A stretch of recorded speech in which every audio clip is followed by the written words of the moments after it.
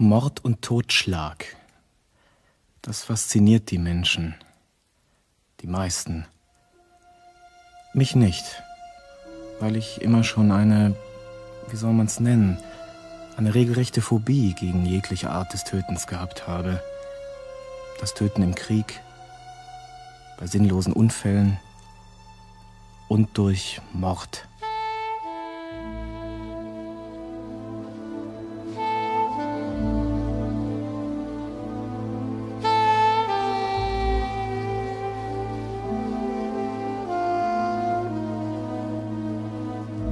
Die Brautjungfer.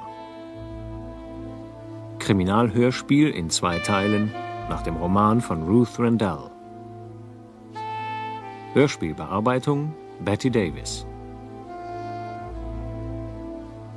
Teil 1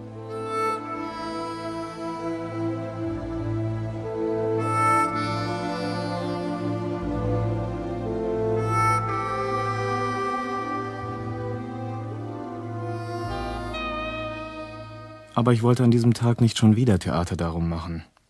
Und so habe ich die Nachrichten mit dem Rest der Familie angesehen. Nordirland, Bosnien, Angola, dann ein Zugunglück in Frankreich. Und schließlich Rebecca Neve. Die Polizei hat die Bevölkerung um Mithilfe im Fall der verschwundenen Rebecca Neve gebeten. Bisher gibt es noch keine Hinweise. Die 23-jährige Londonerin wird seit Dienstag vermisst. Die wissen genau, dass sie Sie umgebracht war worden ist. mit einem grünen Niki-Trainingsanzug und weißen Sportschuhen bekleidet. Auf einer Pressekonferenz heute Nachmittag hat sich die Mutter des Mädchens an die Öffentlichkeit gewandt. Ich bin überzeugt, dass Rebecca an dem betreffenden Abend verabredet war. Sie suchte einen Job als Babysitterin und jemand hat auf ihre Anzeige hin angerufen. Jemand, den sie dann getroffen Mein hat. Gott, die arme Frau. Ich wende mich an alle, die irgendetwas wissen könnten. Was die mitmacht. Wenn ich mir vorstelle, das würde mir passieren. Lass es, Mom. Können wir das jetzt ausmachen? Ja, von mir aus. Dass du immer gleich so empfindlich sein musst, Philipp, bei diesen Dingen. Ich verstehe ihn schon. Aber immerhin bin ich mit ihr zur Schule gegangen. Können die aber auch nicht mal von erfreulicheren Sachen berichten? Es muss doch irgendwo was Erfreuliches passieren. Hervorragende Idee. Wie wär's denn zum Beispiel mit einer Liste von Leuten, die Autounfälle hatten und mit dem Leben davon gekommen sind? Ach, Philipp. Wann werden wir morgen erwartet? Richtig, nur immer schön das Thema wechseln. Jared hat gemeint gegen sechs. Ich habe eine Bitte an euch. Könnt ihr einen Augenblick mit in den Garten kommen? Oh, wozu denn? Ich brauche euren Rat. Wofür? Wegen Flora. Flora war eine römische Statue, ungefähr einen Meter groß. Sie stand bei uns im Garten, solange ich zurückdenken kann. Erst in unserem großen Garten in Barnet, dann, nach Daddys Tod, in unserem lächerlich kleinen Cricklewood-Garten. Mom strich Flora zärtlich über den Kopf wie ein Kind. Was würdet ihr sagen, wenn ich sie Jared schenke? Wie bitte? Man verschenkt doch nicht einfach Statuen. Warum eigentlich nicht? Wenn jemand Sinn dafür hat. Neulich beim Abendessen, als ihr nicht da wart, da sagte er, wie sehr sie ihm gefällt. Dass sie ihn an mich erinnert. Man schenkt Leuten Schokolade oder eine Flasche Wein. Hat er mir ja auch mitgebracht, eine Flasche Wein.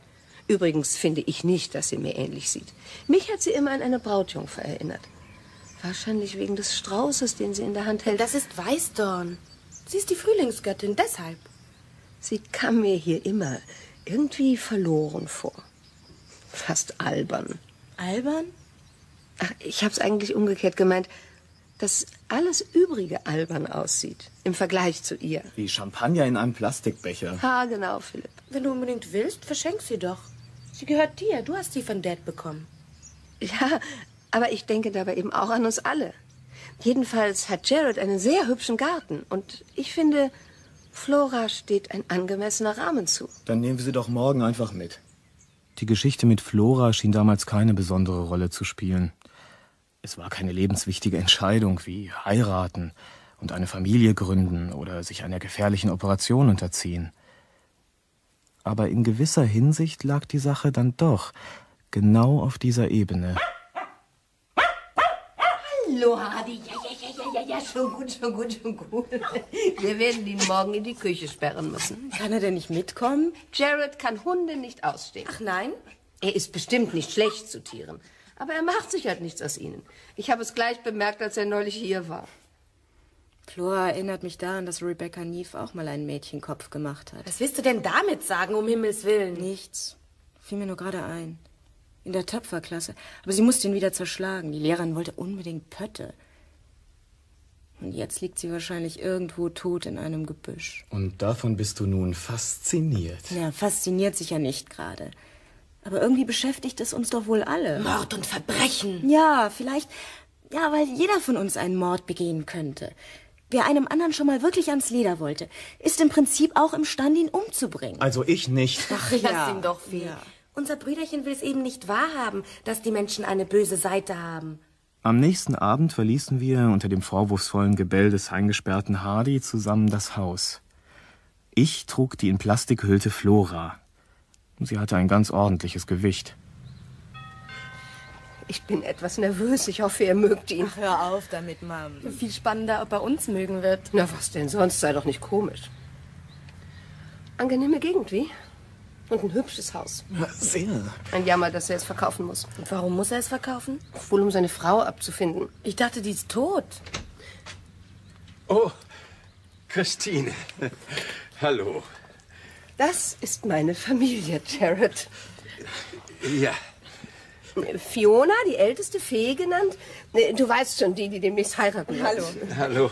Und Philipp, der in einem Büro für Innenarchitektur arbeitet. Hallo, Sir. Und Cheryl, gerade der Schule entronnen. Hi. Hallo. Und wer ist das? Du musst dich doch an sie erinnern. Flora aus meinem Garten. Sie hat dir gefallen. Also habe ich sie dir mitgebracht. Sie gehört dir.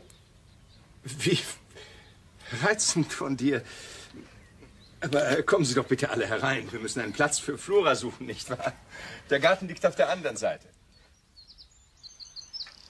Äh, wollen Sie sie dorthin stellen? Philipp, sie muss ja eine Tonne wiegen. Na, der perfekte Platz. Ich hab's doch gewusst. Eine Schande, dass es nur ein Provisorium ist. Aber du wirst sie ja mitnehmen, wenn du umziehst. Natürlich, natürlich. Und dein nächster Garten, wo auch immer, wird sich vermutlich auch sehen lassen können. Das hoffe ich. Das hoffe ich doch. Tja, äh, äh, gehen wir doch hinein und trinken etwas. Danach würde ich Sie alle gern zu einem Essen ausführen. Vorzügliche Idee. Naja, wie man's nimmt. Wir haben uns alle in seinen Jaguar gequetscht und er hat uns ins nächstbeste Steakhouse verfrachtet. Und Fee konnte es nicht lassen, wieder von Rebecca Neve anzufangen. Angeblich haben sie inzwischen jemanden in der Mangel, der Licht ins Dunkel bringen könnte. Bestimmt ihr Boyfriend. Wenn eine Frau ermordet wird, halten sie sich immer erstmal an den Ehemann oder an den Freund. Schrecklich, oder? Und wen interessieren diese Geschichten überhaupt? Wahrscheinlich haben sie ihre Leiche längst gefunden und sagen nur nichts. Weil sie noch darauf warten, dass ihnen jemand in die Falle geht.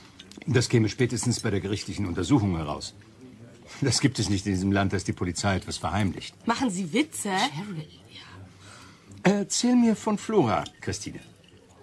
Woher hast du sie? Tja, von meinem Mann. Ich habe sie auf unserer Hochzeitsreise in Florenz im Fenster eines Antiquitätenladens entdeckt und fand sie hinreißend. Den Rest soll Cheryl erzählen. So wie sie es von ihrem Vater hat. Muss das sein? Bitte. Na, Mom hat gemeint, dass sie ein Vermögen kostet. Aber über Geld hat Dad nicht gern diskutiert. Er hat gefunden, dass sie Mom ähnlich sah. Kann ich nicht finden, Sie? Etwas vielleicht. Jedenfalls war das der Grund, dass sie Dad gefiel. Er hat gesagt, pass auf, wir schließen eine Wette ab.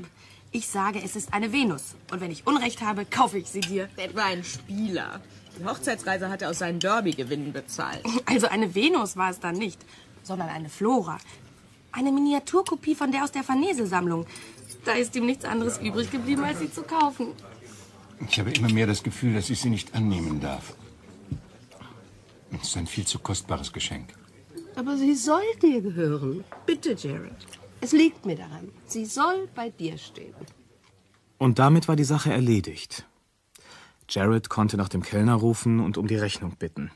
Ich hatte angenommen, er würde uns an seiner nächsten Bahnstation, Buckhurst Hill, absetzen.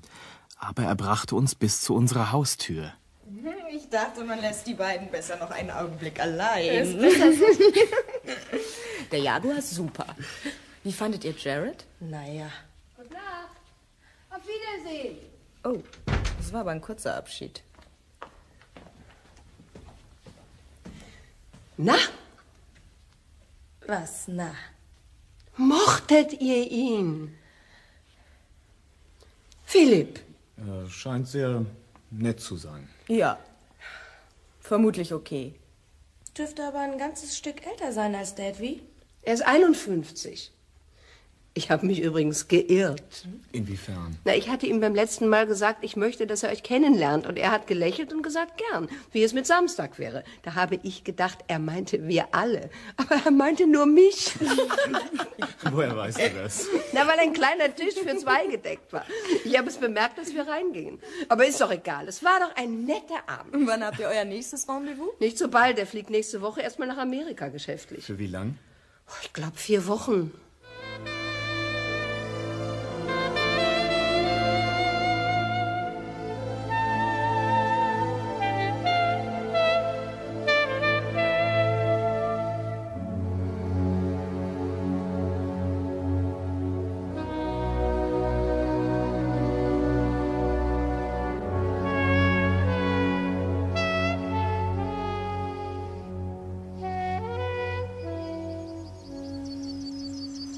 Lang, hat sie gesagt, wollte er weg sein? Vier Wochen. Eben. Und jetzt sind es bald vier Monate. Für eine Geschäftsreise ganz schön lang. Und in der ganzen Zeit eine einzige Postkarte.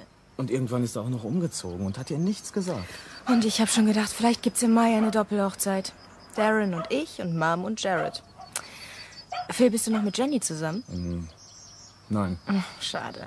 Weil ich sie gern gefragt hätte, ob sie eine von meinen Brautjungfern macht. Tja, wir haben uns nicht mal gestritten oder sowas. Sind nur allmählich auseinandergedriftet. Da muss ich Santa fragen. Wer ist Santa? Eine Cousine von Darren. Also Santa und Janice und Cheryl und Stephanie.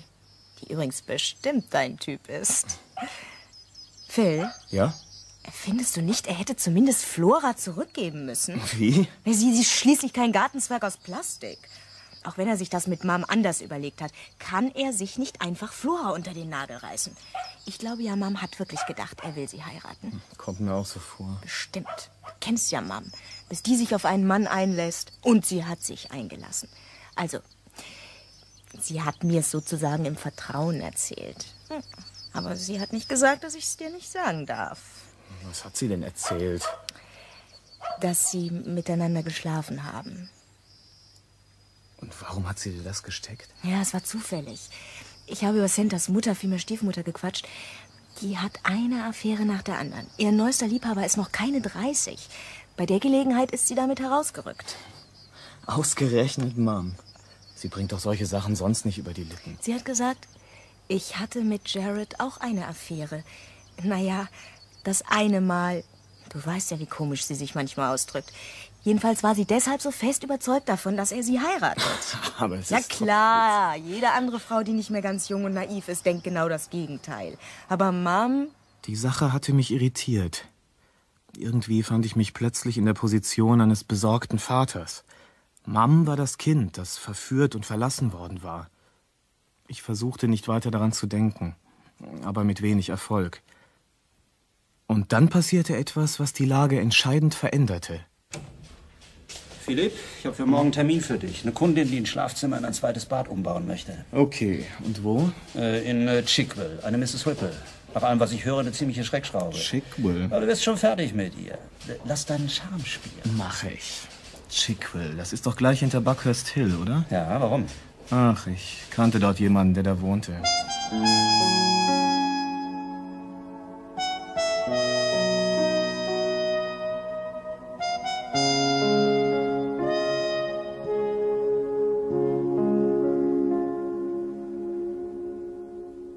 Gut, dann also Bad und Waschbecken Champagnerfarben, die Deckplatten in Marmor und die Wände in abwechselnd schwarzen und goldenen Kacheln. Richtig. Das dürfte wirklich recht attraktiv aussehen, Mrs. Ripple. Hm, Das hoffe ich auch. Ich bin überzeugt davon. Muss es ja zu dem Preis. Vorsicht mit dem Fernrohr, wenn Sie da am Fenster herummessen. Es hat ein Vermögen gekostet. Ich passe schon auf. Schön. Na, dann messen Sie jetzt. Sie wollte ein Doppelfenster. Ich nahm Maß, öffnete den Griff und sah hinaus. Der Blick ging auf die rückwärtigen Gärten der angrenzenden Häuser. Es wirkte alles sehr hübsch. Die Bäume schlugen aus, die Tulpen blühten. Mein Blick blieb an einer Statue hängen, die mir vertraut schien. Aber das konnte doch nicht sein. Sie war auch zu weit weg, um es sicher zu sagen, bis mir das Fernrohr einfiel. Nein, das gibt's doch nicht. Das ist Flora. Haben Sie gerufen? Nein, nein, es ist nichts. Sie war bedeckt mit Blütenblättern des Weißdorns, unter dem sie passenderweise stand. Aber in ihrem Hals war unverkennbar der grüne Fleck, den sie schon immer hatte, und genauso die Narbe an ihrem linken Ohr. Die hatte ich ihr mit meiner Schleuder zugefügt, als ich zehn war. Mein Vater hatte mir für drei Wochen das Taschengeld gekürzt. Und da dämmerte mir, dass ich auf Jared Arnhems neues Haus sah. Na, sind Sie fertig? Ja, ich schicke Ihnen den Entwurf mit den Details und wir sehen uns dann wieder, wenn es mit dem Umbau losgeht. Und das dürfte wann sein? Nächstes Jahr? Oh nein, höchstens in ein paar Wochen. Ihr Wort in Gottes Ohr. Ich fuhr nicht gleich nach Hause, sondern einmal ums Karree, um Jareds Haus von vorn zu sehen. Aus einem der unteren Fenster sah eine hübsche, große, dunkelhaarige Frau heraus. Jünger als Mom. Während ich sie beobachtete, strich sie sich das Haar aus der Stirn und ich bemerkte einen Ehering an ihrer linken Hand. Also hatte Jared Arnhem wieder geheiratet. Scheißkerl. So ein mieser Typ. Wut schoss in mir hoch. Ich hasste den Mann. Mom hätte in diesem Haus, in diesem Garten leben müssen. Ich fuhr nicht gleich weiter. Dann hörte ich einen Wagen starten. Er kam aus Arnems Einfahrt und fuhr an mir vorbei. Am Steuer saß sie, seine Frau. Es war ein kleiner Stadtwagen, nicht der Jaguar. Möglicherweise war er damit ins Büro gefahren. Plötzlich wurde mir klar, dass das Haus ja leer stehen musste. Hallo, Flora. Erinnerst du dich? Es war seltsam. Sie war mir mein Leben lang vertraut gewesen, aber jetzt schien ich sie zum ersten Mal wirklich zu sehen. Und ich entdeckte, wie schön sie war. Und dass sie meiner Mutter tatsächlich nicht sehr ähnlich sah. Mom war auf ihre Weise immer noch eine attraktive Frau, aber anders. Flora war verführerisch, blutjung und schien mir so lebendig wie ein Mädchen von nebenan. Plötzlich schoss mir der Gedanke durch den Kopf, dass ich mich in eine Frau wie Flora auf der Stelle verlieben würde. Flora, ich nehme dich mit nach Hause. Hey, junger Mann, was machen Sie hier eigentlich? Oh mein Gott.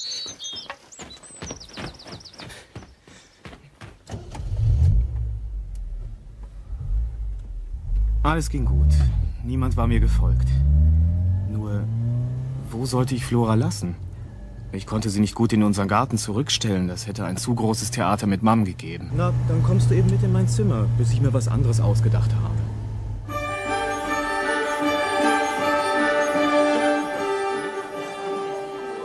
Jetzt die Brautjungfern, bitte. Ein Foto von den Damen. Die vier Mädchen gruppierten sich um Fee herum. Sie trugen ziemlich scheußliche Kleider, gebauschte Tüllröcke mit orangenen Punkten und Puffärmeln und sahen eher grotesk aus. Bis auf eine. Und dazu ein charmantes Lächeln, wenn ich bitten darf. Senta. Das musste Jawohl. Senta sein, obwohl sie nicht wie eine Cousine von Darren aussah. Sie sah nach niemandes Cousine aus. Nur einfach umwerfend. Danke. Das wird das Letzte. Sie hatte auffallend weiße Haut, so Sehr weiß wie das Innere einer Muschel. Und ihre Lippen waren ebenfalls völlig blass. Dazu, lang und glatt und weich, silbernes Haar. Und ihr Gesicht? Es war das Gesicht von Flora.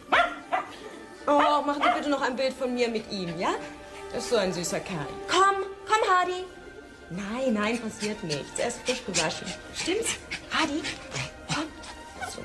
So. Das ist ja ein origineller Hund. Mit orangenen Flecken. Ideal zu ihrem Kleid. Haben Sie ihm die absichtlich verpasst? Nein, die hat er abgekriegt, als Cheryl ihr Haar färbte. Und dann ging sie nicht raus, als meine Mutter ihn später gebadet hat. Und ich habe ihn schon für eine ausgefallene Züchtung gehalten. Sind Sie Fees Bruder? Bin ich. Philipp? Ja, Und ich bin Santa Pelham. Die erste Senta meines Lebens. Ich bin noch nie einer begegnet. Ja, man trifft sie meistens nur bei Wagner. Entschuldigung. Philipp, Ja, Mom? Die beiden Wagen zur Kirche für mich und deine Tanten und der für die Brautjungfern sind da. In Ordnung. Alles bereit, soweit ich sehen kann. Vergiss nicht, Hardy in die Küche zu sperren, sonst weicht er uns den weißen Teppich ein. Oh, das macht er immer, wenn er aufgeregt ist. Schon gut, ich vergesse ihn nicht. Kommt ihr dann? Die Wagen Bestimmt ist mein Make-up über mein ganzes Gesicht verschmiert und ich sehe fürchterlich aus. Ach, was, kein bisschen. Du siehst fantastisch aus. Naja, wenn es nicht hinhaut, dann können wir uns ja wieder scheiden lassen. Tun ja sowieso die meisten. Jetzt mal ganz ruhig, Fee. Du kennst ihn doch seit Jahren. Du weißt, dass er der Richtige für dich ist. Ich muss die ganze Zeit daran denken, dass wir jetzt eine Doppelhochzeit feiern könnten. Wenn sich nur dieser Jared Arnhem nicht als so mieser Typ erwiesen hätte.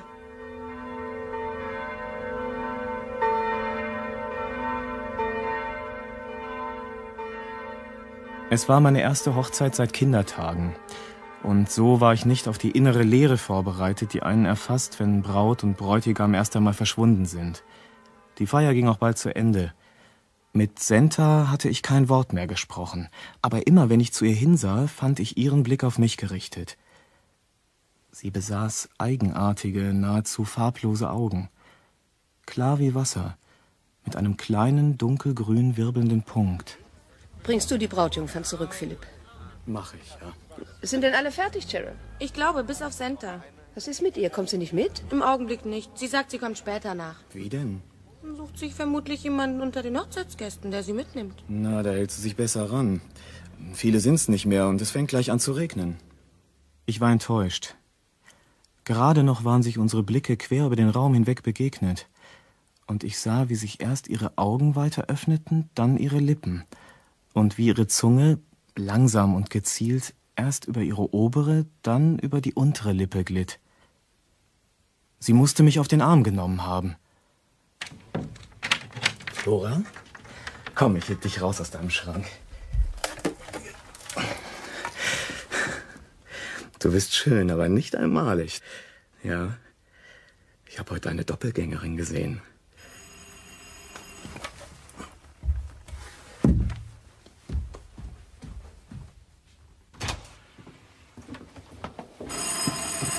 Komme!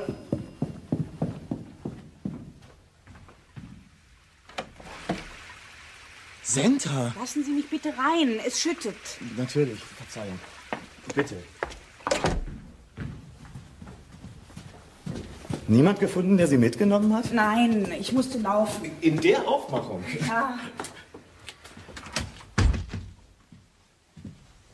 Haben Sie ein Handtuch für mich, Philipp? Ja, dort, im, im Bad. Hier? Ja. Meine Haare. Um Himmels Willen, ich sehe aus wie nach einer Tauchexpedition. Irgendwo gibt's da auch einen Föhn. Ist schon gut. Es geht mit dem Handtuch.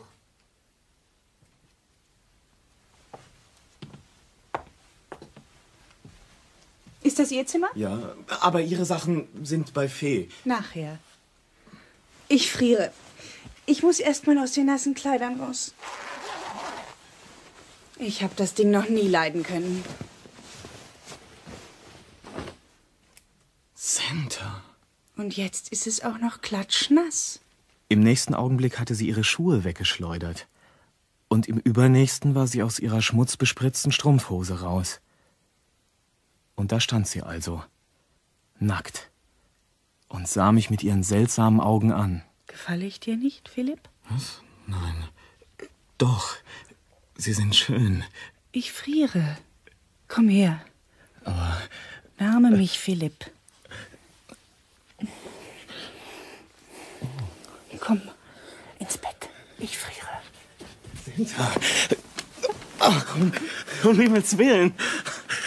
Sie liebte mich, wie es ihr gefiel. Sie küsste mich gierig, schleckte und leckte an mir, wie ein kleines Tier. In ihrem Sex war Leidenschaft und Zärtlichkeit. Ich hatte sowas noch nicht erlebt. Sag meinen Namen, Philipp. Senta. Senta. Senta. Senta. Senta. Senta. Senta. Ich mag ihn. Ich muss dir was gestehen. Ja? Als ich dich heute Vormittag zum ersten Mal sah, da wusste ich sofort, was es geschlagen hatte.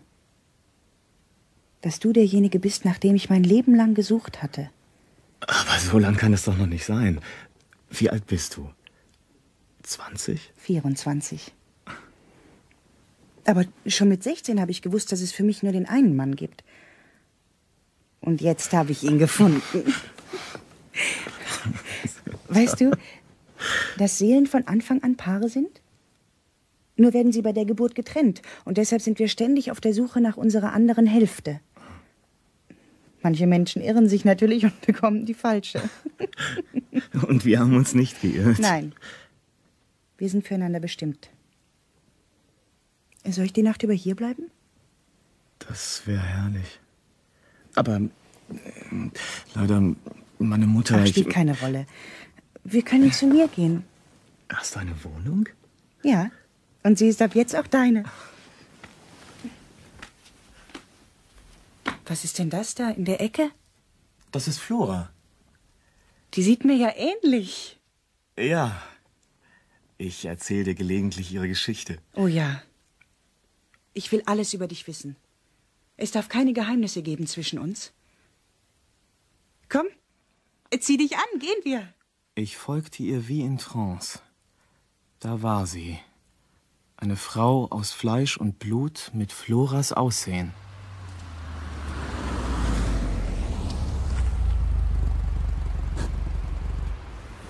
Wir sind da, komm. Ohne die Bäume, eine Art von Allee, wäre es die reinste Slum-Gegend gewesen. Die ganze Straße war übersät mit Blechdosen, Papierfetzen, Scherben, Unrat. Ich wohne im Souterrain.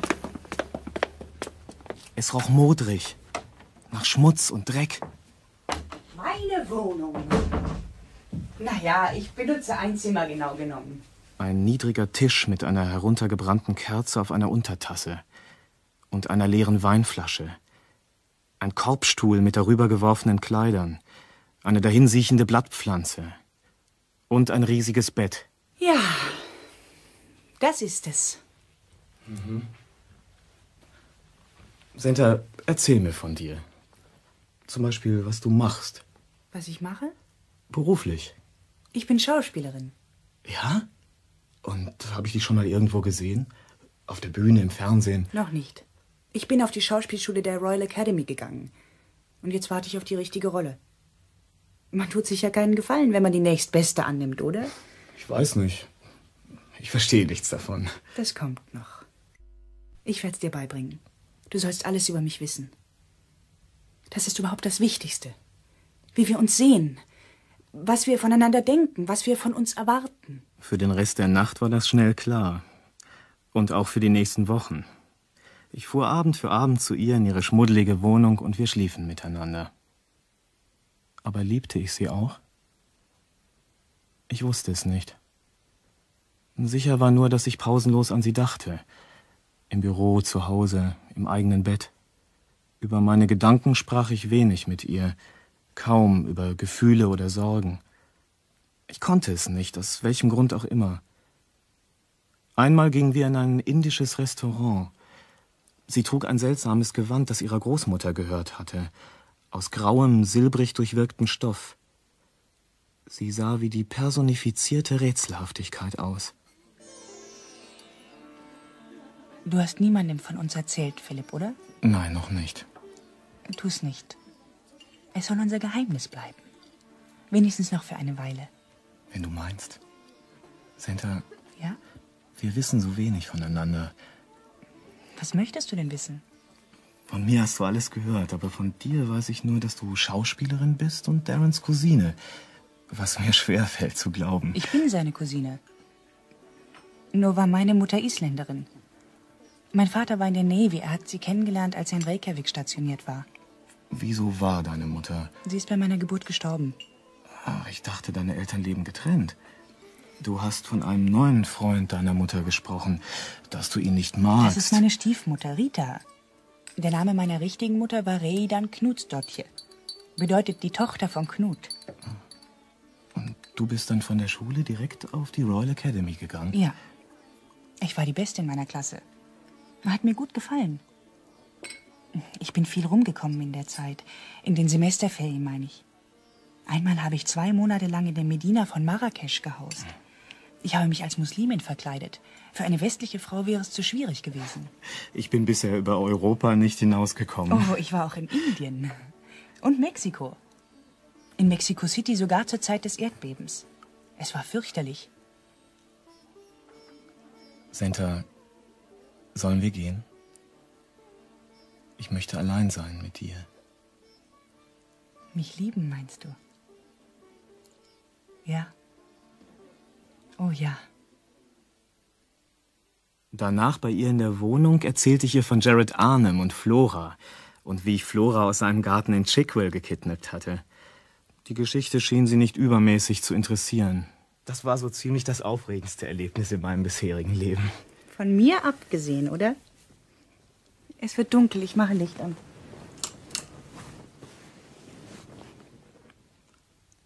Senta, warum färbst du dir deine Haare? Sehen sie wirklich gefärbt aus? Nicht die auf deinem Kopf. Warum machst du das? Sie sind nicht gefärbt. Unsinn. Du bist silberblond, aber doch nicht rothaarig. Was fällt dir ein, mir nicht zu glauben? Ich bin nicht blond. Nein, nein! Um Himmels Willen, was ist denn los? Was ich mir färbe, sind die Kopfhaare, du Narr. Entschuldige. Entschuldige. Mach sowas nicht nochmal, hörst du? Es war schnell wieder vorbei. Aber der Ausbruch irritierte mich. Vor allem, weil ich ihr nicht glaubte. Aber es war natürlich nur eine kleine Lüge. Allmählich formte sich in meinem Kopf ein genaueres Bild von ihr. Oder?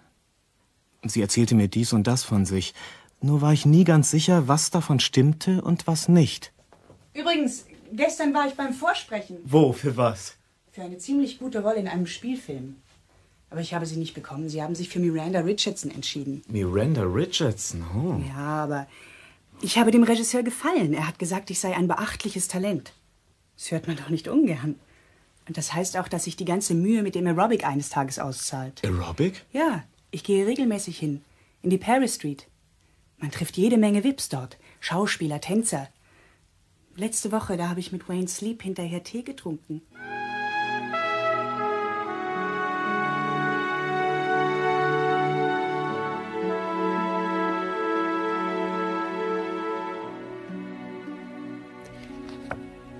Das hier ist gut. Du siehst reizend aus, Fee. Und Cheryl auch. Phil, komm zu uns und sieh dir die Hochzeitsfotos an. Das da zum Beispiel. Oh ja, sehr nett. Auf dem sehe ich wie eine Schaufensterpuppe aus. Da ist ja das mit Hardy zehnmal besser.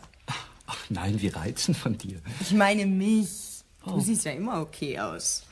Und da kommen die Brautjungfern. Senta, du siehst auf den ersten Blick, dass sie Schauspielerin ist. Ist sie das? Halbwegs mal sicher. Ich meine, wie sie dasteht, die Pose. Und was heißt halbwegs im Einzelnen? Ja, dass sie jedenfalls auf eine Schauspielschule gegangen ist. Die Royal Academy? Um Himmels Willen, nein. Irgendein privater Laden in Ealing. Möchte noch jemand Tee? Nein. Danke, nein. Na, dann räume ich das mal weg. Ich helfe dir abwaschen. Danke, mein Schatz. Darren, lass die Fotos noch da, ja? Ja. Dein Pullover gefällt mir, Fee. Auf der Hochzeitsreise gekauft? Ja, es ist ein Guernsey. Und er stammt von Guernsey. Wie lustig. Ja, Mom, deswegen heißen die Dinger Guernsey. Darren? Aha. Von deiner Cousine Senta habe ich bis vor kurzem nichts gewusst. Bis zur Hochzeit. Ich weiß. Wieso? Ach so. Verknallt, Philipp? Ich kenne sie kaum. Ist sie wirklich deine Cousine? Ich weiß nur, dass meine Mutter ihre Tante und ihr Vater mein Onkel ist. Das ergibt doch was Cousinartiges. Gefällt sie dir? Na ja. Ah, Ich kann dich zu ihr bringen, wenn du willst.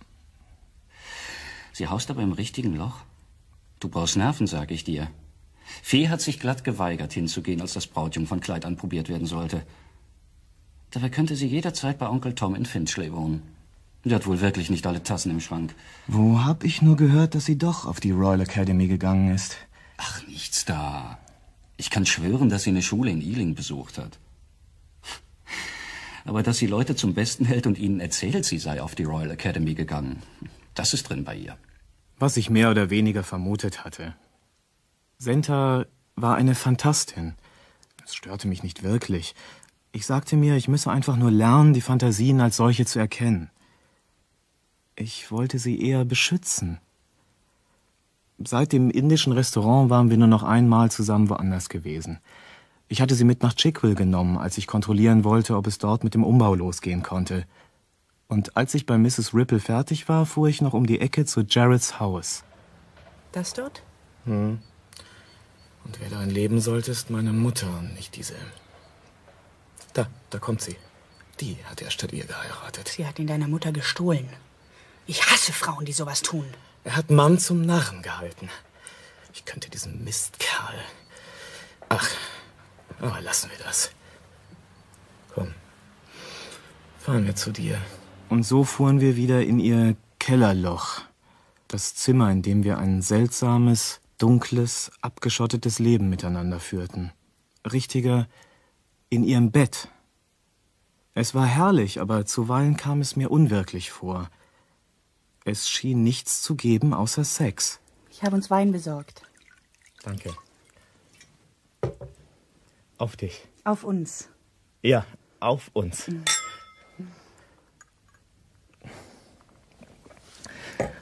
Streich deine Haare aus dem Gesicht. Sie verbergen deine schönen Augen. Lass mich mal. Nanu, Was ist sind denn? ja rot an den Wurzeln. Ja, das muss aufgefrischt werden. Ich habe dir ja gesagt, sie sind gefärbt. Weißt du es nicht mehr? Doch, aber irgendwie dachte ich, was völlig Ausgefallenes passt viel besser zu dir. Da habe ich's nicht geglaubt. Was? Ich habe gedacht, du färbst dir Du wirklich. die- glaubst mir nicht. Du traust mir nicht. Wie sollen wir eine Seele sein, wenn du mir nicht traust? Ich habe dir meine Seele geschenkt und du, du willst mich zerstören. Senta, um Himmels Willen. Nicht.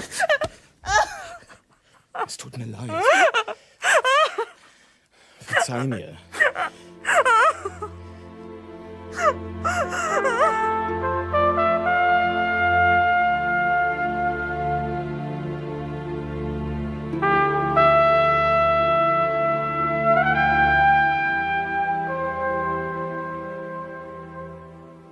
Vergeben? Ja. Es tut mir auch leid. Warte, hier ist ein Taschentuch. Danke. Philipp, Ja, ich muss dich was fragen. frag. Was bedeute ich dir? Alles, Ich liebe dich. Liebling. Ich wollte es nicht aussprechen, bevor ich mir nicht ganz sicher war. Jetzt bin ich es. Es tut mir leid mit vorhin. Ich, ich war tief unglücklich. Verstehst du das? Oh ja. Liebst du mich so wie ich dich? Ja, ich liebe dich. Wenn es nur reichen würde, es zu sagen. Aber es reicht nicht. Du musst deine Liebe zu mir beweisen. Und ich die meine zu dir. Und dafür müssen wir etwas Großes tun. Etwas Großes? Zum Beispiel? Ja, etwas Einschneidendes. Etwas Starkes. Im Bett haben wir beide auch dieses überwältigende Gefühl von Intensität. Als ob alles frisch und neu und vollkommen wäre. Wie zum ersten Mal. Und so sollte es sein. So sollte es immer sein. Man kann es lernen. Und zwar wie? Manche behaupten ja, dass man, um wirklich intensiv zu leben, vier Dinge tun muss. Soll ich sie dir sagen? Mhm. Einen Baum pflanzen, ein Gedicht schreiben, mit einem Menschen ins Bett gehen und jemand umbringen. Die ersten zwei oder eigentlich drei Ideen haben ja nur relativ wenig mit der letzten zu tun, oder? Über sowas mokiert man sich nicht. Ich habe mich nicht mokiert. Aber ich hoffe doch schwer, dass ich auch ohne diese Voraussetzungen intensiv lebe. Wenn ich mit dir im Bett bin zum Beispiel, fehlt mir nichts. Ich werde dir beweisen, dass ich dich liebe, indem ich jemand für dich umbringe. Und du musst jemand für mich umbringen. Naja, klar. Und an wen denkst du da? Es muss niemand Bestimmtes sein. Ah, gut. Aber ich werde natürlich wissen, was du für mich getan hast. Und umgekehrt. Aber niemand sonst. Nur wir werden das schreckliche Geheimnis miteinander teilen. Und werden am Ende die Gewissheit haben, dass wir einander mehr bedeuten als alles andere auf der Welt. Senta, auch wenn du noch so überzeugend argumentierst, ich falle nicht darauf herein. Ich weiß, dass du es nicht ernst meinst. Ich weiß, dass du gern ein bisschen fantasierst, in Gedanken mit den Dingen spielst. Wovon sprichst du? Das wissen wir beide, du und ich. Ich nicht. Also bitte erklär's mir. Gut, wenn du unbedingt willst. Zum Beispiel deine Mutter. Oder deine Reisen in was weiß ich für exotische Länder. Oder auch dein Vorsprechen zusammen mit Miranda Richardson. Ich weiß, dass das Tagträume sind. Gedankenspielereien. Du glaubst mir nicht, was ich sage? Wie soll ich denn, wenn du solche Sachen erzählst? Schön. Und was glaubst du mir also nicht? Hör mal, ich hab nichts dagegen, dass du deine Fantasie benutzt und dir die Dinge ausmalst. Du bist ja nicht die Einzige, das tun viele. Das kann das Leben interessanter machen. Aber wenn dann plötzlich von Menschen umbringen die Rede ist, dann finde ich das ziemlich witzlos und eine Zeitverschwendung. Ich meine, es ist Sonntag. Draußen ist das schönste Wetter und da sitzen wir in diesem, verzeih, unappetitlichen Loch und du erzählst mir was von Menschen umbringen. Bist du sicher, dass du mich liebst und alles für mich tun willst? Ja, in vernünftigen Grenzen. Wenn ich das schon höre. In vernünftigen Grenzen. Kapierst du denn nicht, dass das, was wir füreinander tun, außerhalb der Vernunft sein soll? Außerhalb der Vernunft und der Gesetze. Du meinst es ernst, ja? Oder glaubst, dass du es ernst meinst? Ich bin bereit, jemanden umzubringen, um meine Liebe zu dir zu beweisen. Und du musst das Gleiche für mich tun. Senta, du bist wahnsinnig. Sag das nicht nochmal. Oh Gott, ich meine es ja nicht wirklich. Können wir denn nicht mal von was anderem sprechen? Bitte. Du weigerst dich? Was denn sonst? Du weißt nicht, wie sehr mir der Gedanke von Töten und Gewalt verhasst ist. Da kommst du mit dem Vorschlag, jemanden umzubringen. Für was hältst du mich eigentlich? Ich habe dich für die andere Hälfte unserer vereinten Seelen gehalten. Jetzt komme doch nicht mit diesem Unsinn. Das ist doch die reinste Kacke. Dieses Gerede von Seelen und Bestimmung und was weiß ich noch alles. Wach auf, Senta. Jetzt schau dich mal ein bisschen in der realen Welt um. Ich habe doch was von Leben gehört. In diesem Drecksloch hier? Ich hätte gedacht, es reicht. Mit Mexiko und Indien und einer Eskimo-Mutter und der ganzen Schauspielerei. Aber nein! Jetzt willst du mir noch beibringen, ich soll irgendeinen armen Teufel töten, um dir meine Liebe zu beweisen. Hör auf! Hör auf!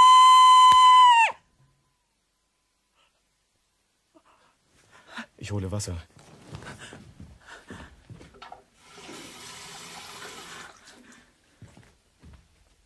Trink das.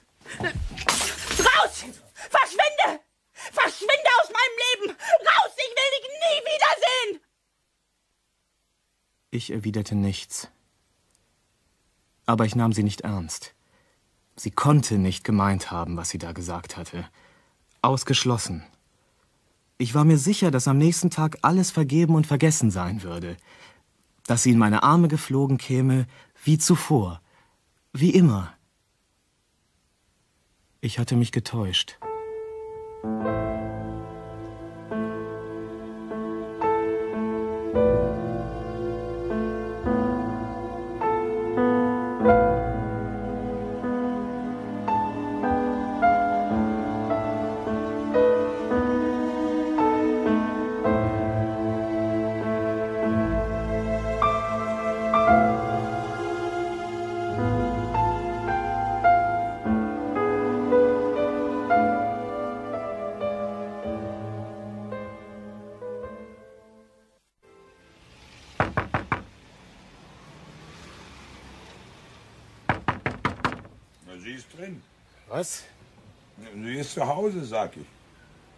Die da wohnt.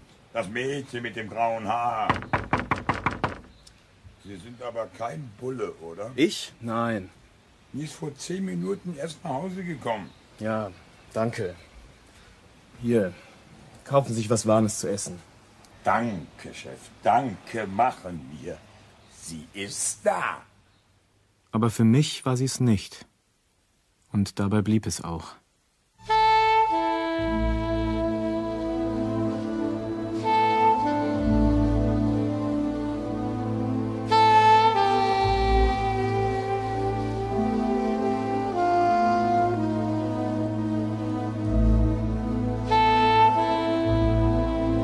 Die Brautjungfer. Kriminalhörspiel in zwei Teilen nach dem Roman von Ruth Rendell. Hörspielbearbeitung Betty Davis. Teil 2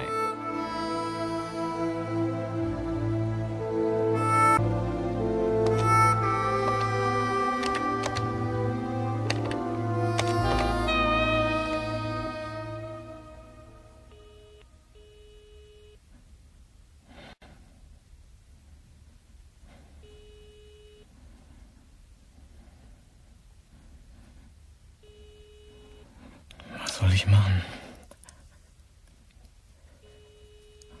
Was zum Teufel soll ich machen?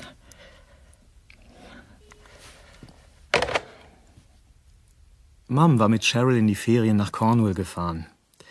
Das war mir zuerst ganz recht, so wäre mir noch mehr Zeit für Senta geblieben. Aber Senta blieb verschwunden. Und ich zweifelte langsam an meinem Verstand. War alles vielleicht nur ein Hirngespinst gewesen? Dass ich ihr begegnet war. Dass wir tagelang kaum aus dem Bett gekommen waren. Dann schneite eines Abends Fee herein, um ihre restlichen Sachen abzuholen. Sag mal, wie siehst du denn aus? Wo hast du denn das blaue Auge her? Ach, eine Verwechslung. Da hat man mich Sieht ja kriminell aus. Im Pub? Nein, ist auch nicht weiter schlimm. Soll ich dir helfen? Geht schon, danke. Hey, was ist das denn? Was denn? Ein Brautjungfernkleid. Und zwar Santas, Woher weißt du das? weil es das kleinste ist. Sie muss es ja besonders gemocht haben, wie? Dass sie es so zusammenknüllt und da reinstopft. Hm. Ist schon ein komisches Mädchen. Darrens Stiefmutter hat uns lang und breit erklärt, dass Santa beleidigt gewesen wäre, wenn man sie nicht eingeladen hätte. Aber im Nachhinein möchte ich das bezweifeln. Die wollen doch von der übrigen Familie gar nichts wissen. Wir haben Santas Eltern auch zur Hochzeit eingeladen. Die haben nicht mal geantwortet. Jemand hat behauptet, dass sie eine Mutter aus Gott weiß wo hatte, die bei ihrer Geburt gestorben ist. Ja, da war sowas. Sie ist gestorben, stimmt. Und war aus Grönland? Nein, Island, glaube ich. Also stimmte es doch. Offenbar mischte sie Wahres mit Unwahren. Wenn es ihr in den Kram passte, erzählte sie die Wahrheit, und wenn nicht, erfand sie sich was dazu. Tat ich das auch? Tun wir das alle? Ich weiß es nicht.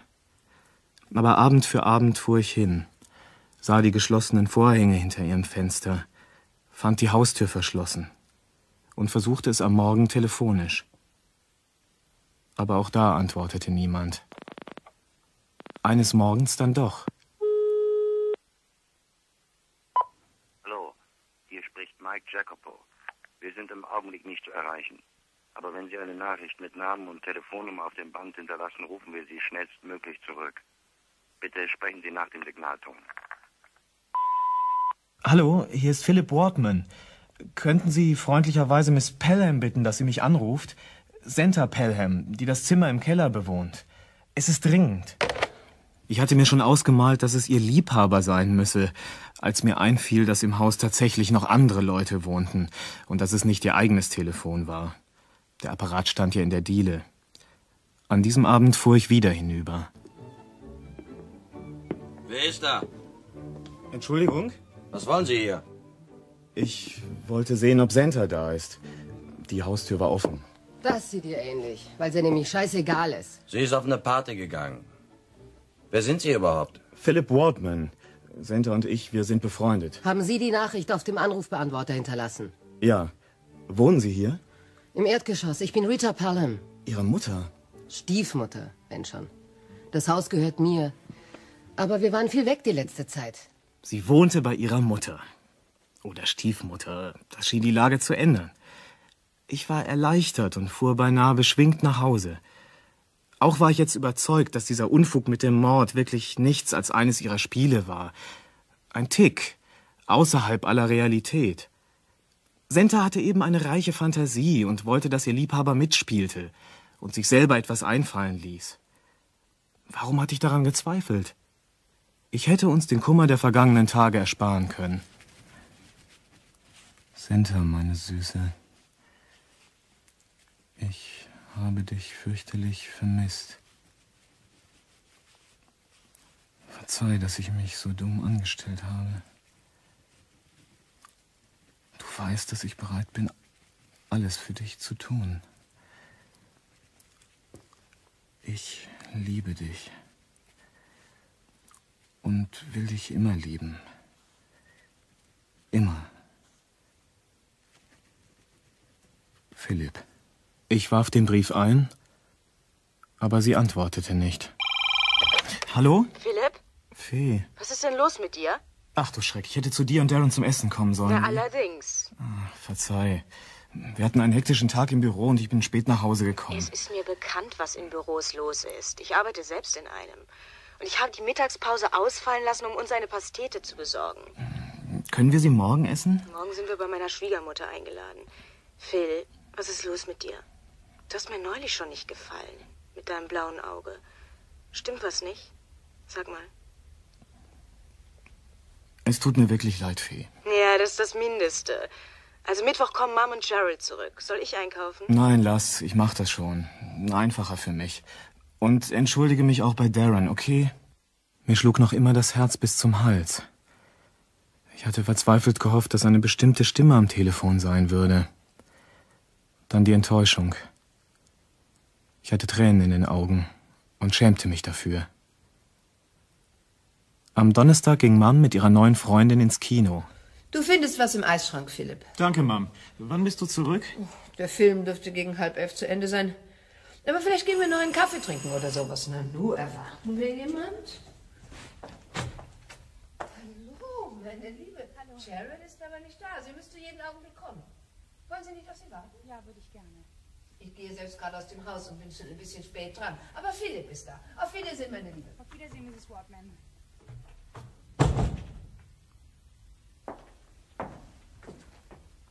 Philipp. Santa! Vergibst du mir? Da ist nicht zu vergeben, dass du einfach so hierher gekommen bist. Ich bin so froh. Es schien das einzig Richtige zu sein. Rita hat mir deinen Brief gegeben. Ich hatte nicht gewusst, dass ihr das Haus gehört. Ich spreche nicht viel von den beiden.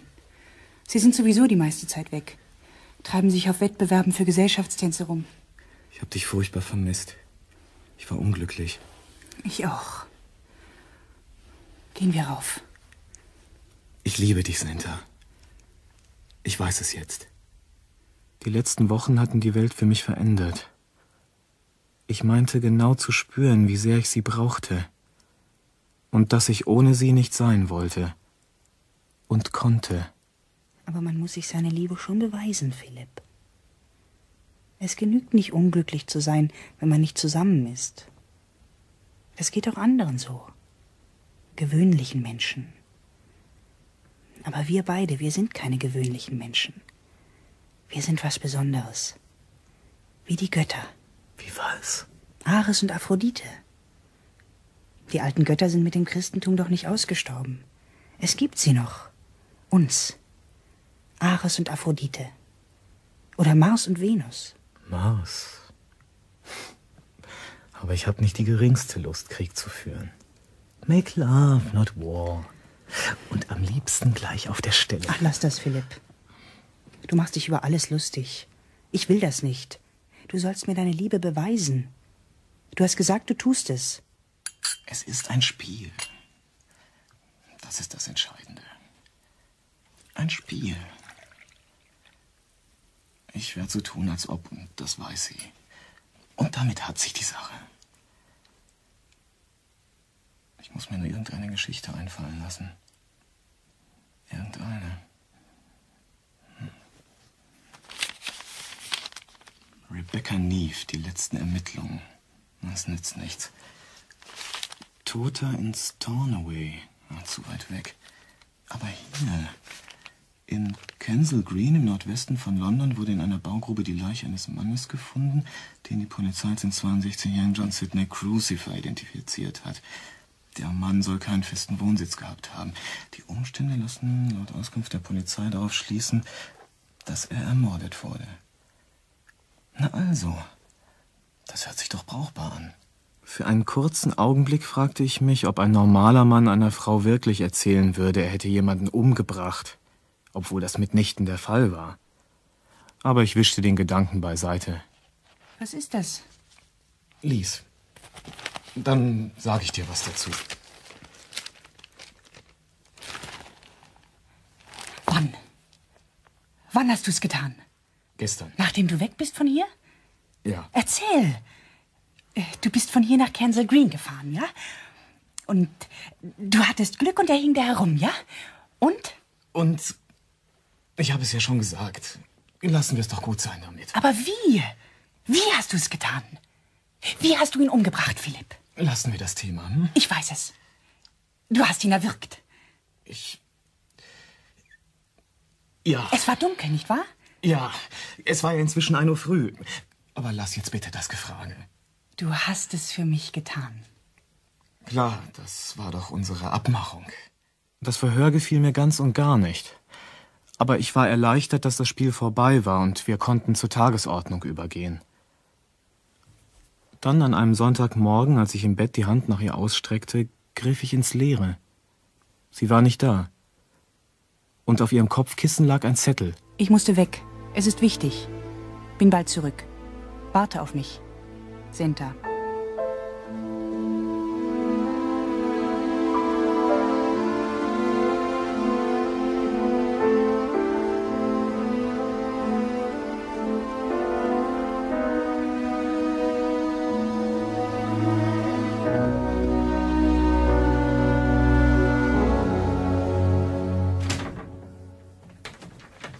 Senta, wo warst du?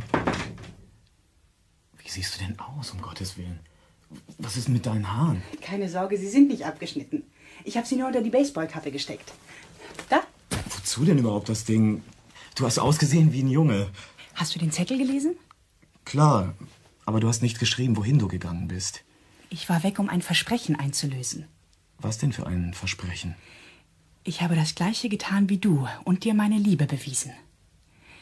Ich habe jemanden umgebracht. Senta. Ich musste sehr früh raus, weil ich nach Chickwell gefahren bin. Nach Chickwell? Naja, Grange Hill. Die nächste Bahnstation zu seinem Haus. Wessen Haus? Jared Arnhems. Du hast es doch schon vermutet, oder? Ich habe ihn heute Morgen umgebracht. Für dich. Du hast was? Ich bin die letzten Tage zweimal hingefahren. Zu dem Haus, das du mir gezeigt hast. Und ich habe festgestellt, dass er offenbar immer, bevor er ins Büro fährt, seinen Hund im Wald spazieren führt. Seinen Hund? Ja, einen kleinen schwarzen Scotch Terrier. Ich habe mich für Arnhem entschieden, weil du ihn gehasst hast. Was? Ich meine, wie, wie hast du es. Wie hast du es gemacht? Ich bin auf ihn zugegangen und habe mir dabei die Hand vors Auge gehalten.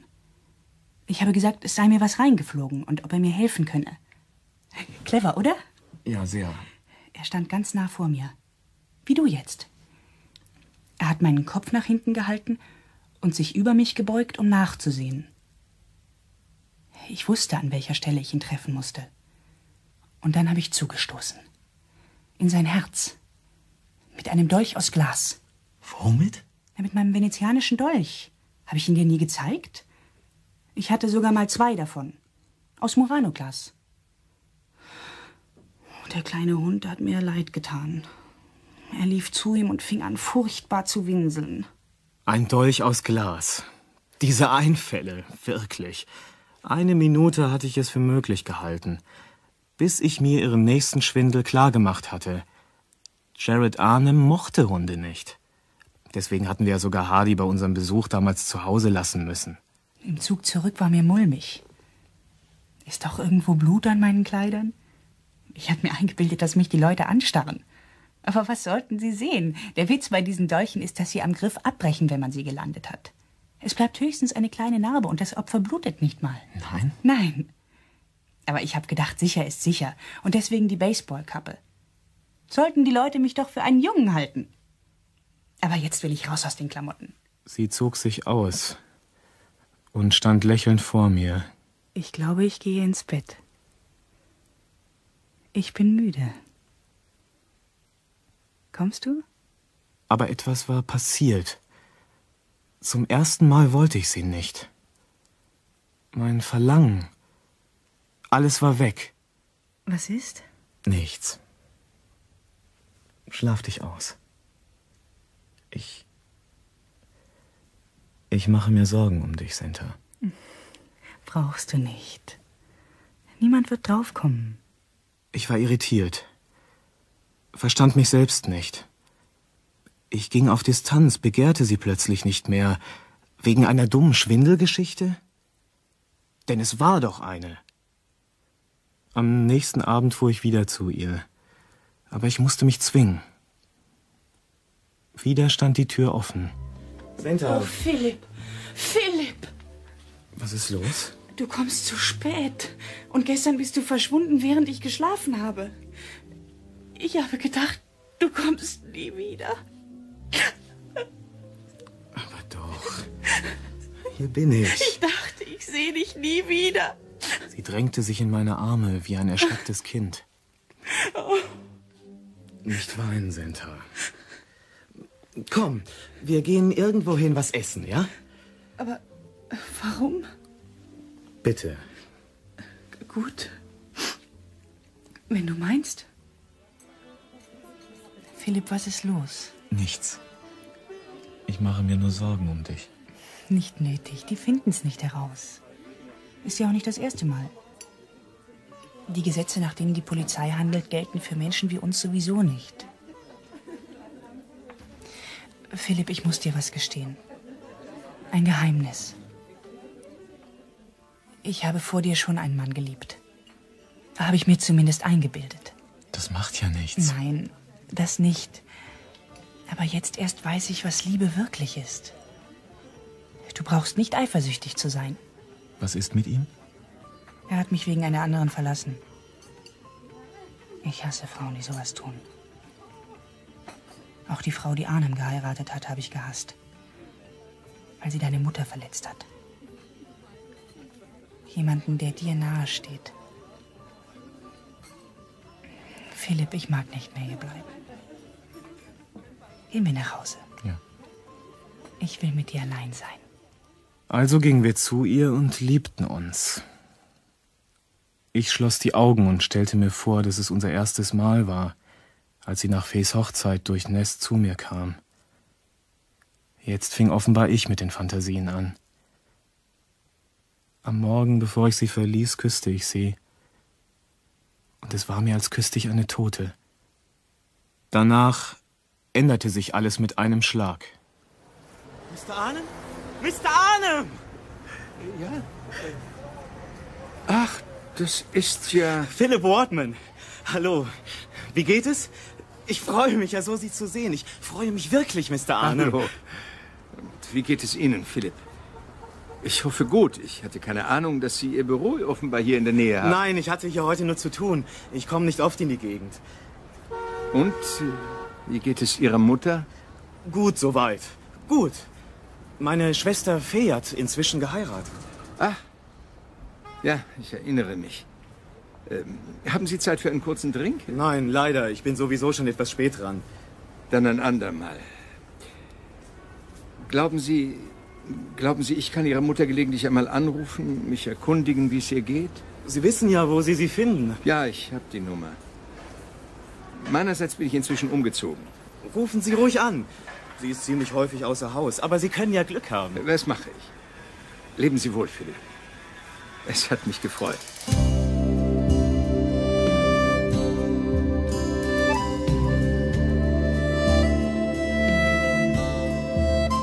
Ich verstand nicht mehr, warum ich je solchen Widerwillen gegen Sentas Zimmer empfunden hatte.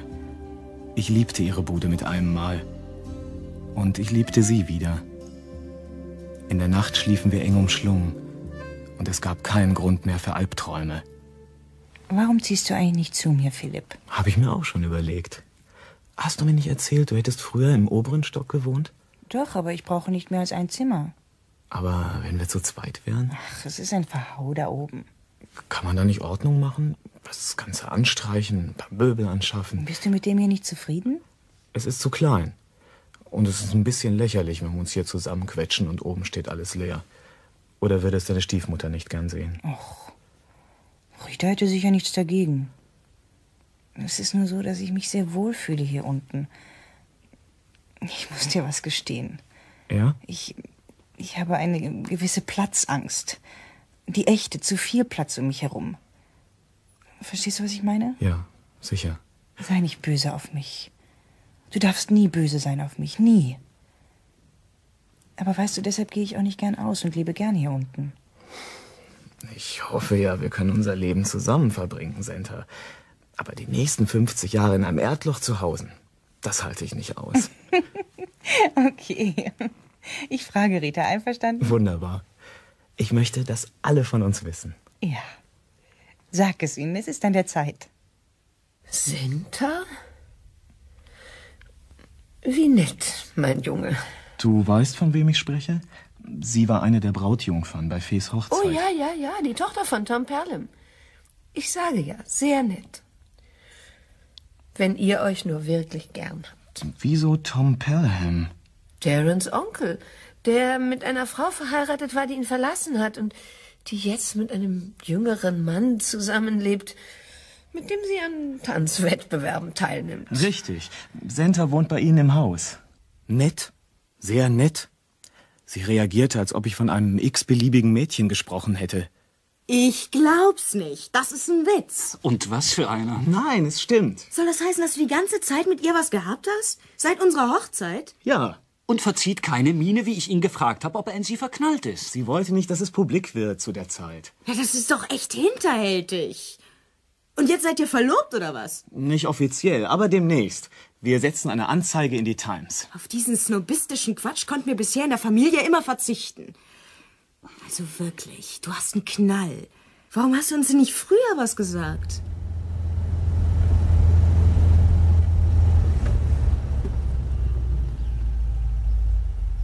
Wieso ausgerechnet Hampstead Heath? Was machen wir hier? Willst du mich kidnappen?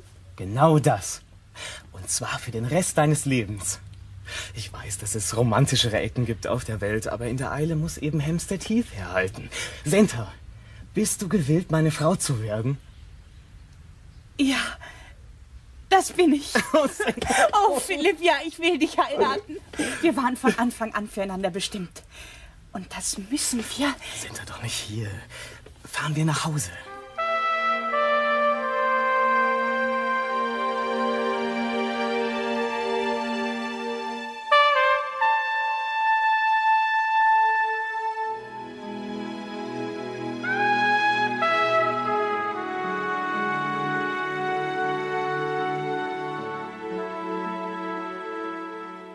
Es ist schon dunkel. Machst du die Vorhänge zu? Hm, mach ich. Dass du mich in letzter Zeit öfter ausführst. Ist das ein Versuch, mich von meiner Platzangst zu heilen? Der alte Knabe ist nicht mehr da. Ich habe ihn schon wochenlang nicht mehr gesehen. Welcher alte Knabe? Na, der draußen oft herumgesessen hat. Auf unserer Treppe?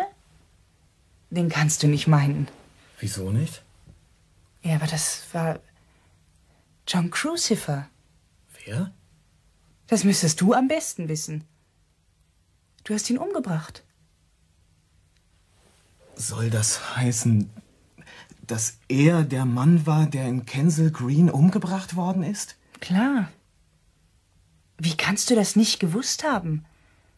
Hast du ihn dir denn nicht ausgesucht? Warum sollte ich? Ich hab gedacht, du hast ihn gewählt, weil er mein Feind war. Wieso war er dein Feind? Er hat mich einmal um Geld angehauen. Ich hatte nichts für ihn und er hat mir die scheußlichsten Verwünschungen nachgerufen. Wieso hast du denn angenommen, das hätte ich gewusst? Weil du weißt, was in meinem Kopf vorgeht. Weil wir uns so nah sind, dass wir unsere Gedanken lesen können.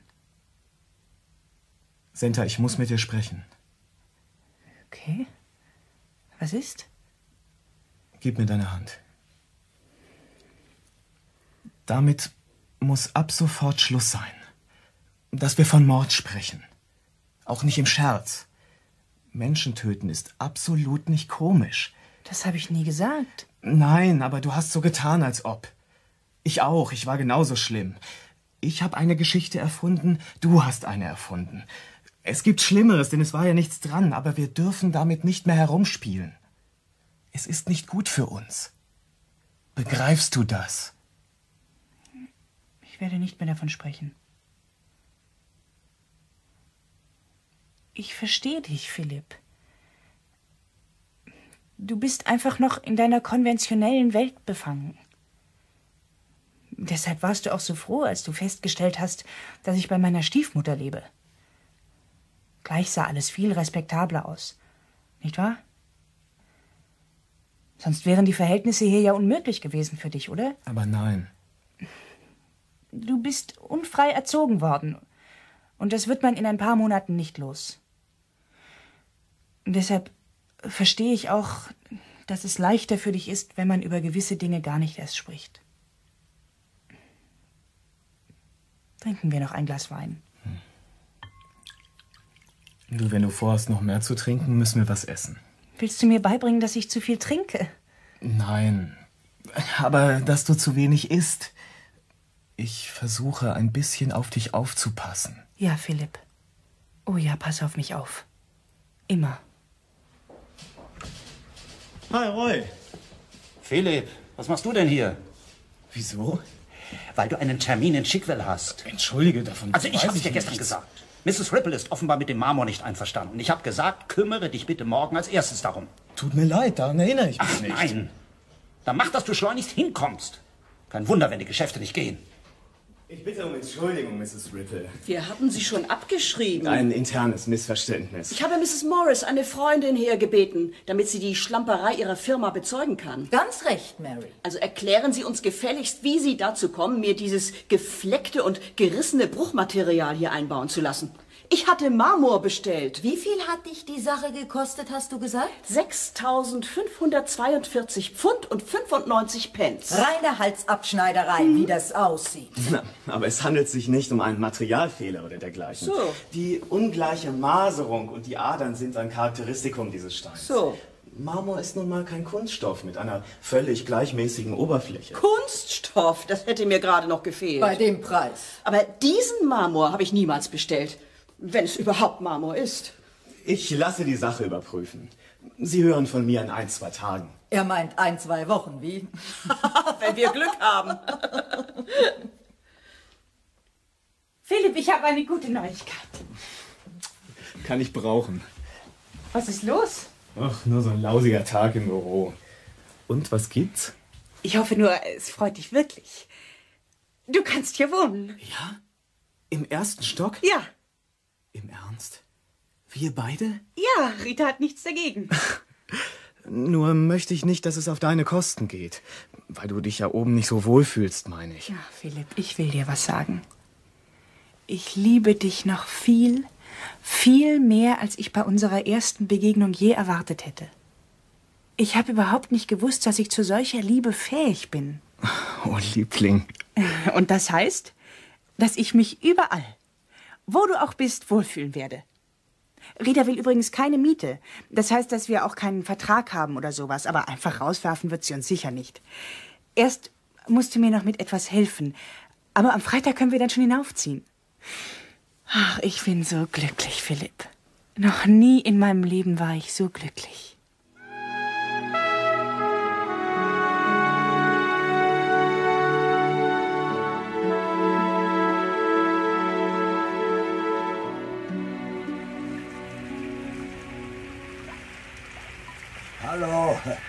Naden, Chef. Nu. Dreckswetter heute. Hä?